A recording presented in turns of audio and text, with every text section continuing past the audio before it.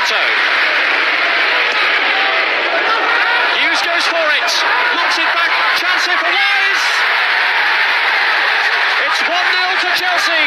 And Dennis Wise gets his second of the season.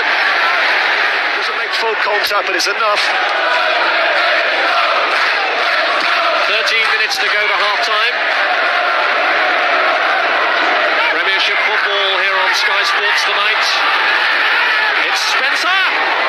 2 0. And John marks his 25th birthday with a goal. Now they're building up on the right with Spencer. Foul by Julian Dicks. Well, a little bit of hard wrestling there. Wise finds Spencer. Gullit.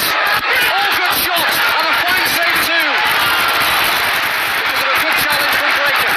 As Gullit comes forward. Spencer moves on ahead. And Dicks' challenge brings Gullit to a shuddering halt. Well, he's looked so effective the last couple of minutes on. Gets possession. That's a penalty.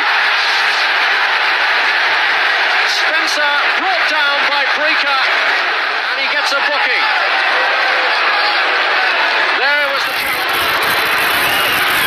Oh, it's saved by the goalkeeper.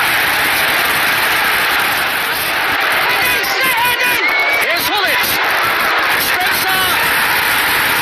And that crowns the performance and earns Chelsea their first Premiership victory of the season. Uh, take us through it. Uh, a couple of goals and also a head wound. Yeah, well, it was a. I think Julian accidentally when he put his foot down on the grass and, and my head seemed to be in that place. So, but bit sore, but I got on with it. Obviously, the goals were, were vital for you, weren't they? The, the first one, you enjoy that? Yeah, of course. I think uh, to be fair, the goalkeeper took a bit of a deflection, uh, but it's nice to get off the mat for the season.